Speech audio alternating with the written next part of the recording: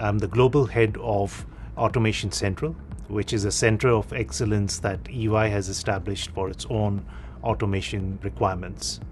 Automation Central is one of a kind in EY. It is the only global delivery vehicle which is delivering emerging technologies such as RPA, artificial intelligence, and blockchain across all our network of 150 countries.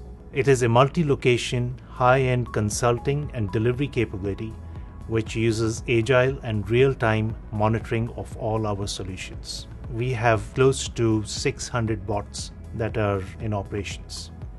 We have bots that are working across finance, markets, HR, risk management, in audit, and in tax. Most people are seeing this as something that is going to enhance the way they work, as something that will help them focus on what is more strategic and more relevant and more insightful. And as an organization, we are focused on delivering skills and training for people to upskill themselves.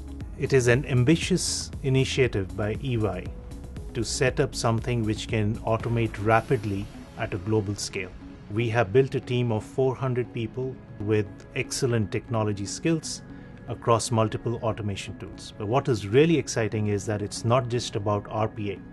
We will be bringing in artificial intelligence, we'll be bringing in chatbots, we'll be bringing in blockchain in the times to come.